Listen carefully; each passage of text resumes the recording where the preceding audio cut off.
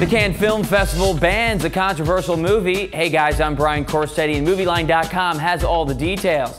The Cannes Film Festival is one of the most glamorous events in the movie industry, but it's no stranger to controversy. The latest outrage surrounds French comedian Dieudonné, whose film The Anti-Semite has caused quite a stir in Cannes, and not in a good way. The film, which was not technically part of the festival, but part of the Cannes film market lineup, was scrapped by the organization because of the comedian's heavy use of Nazi imagery and humor.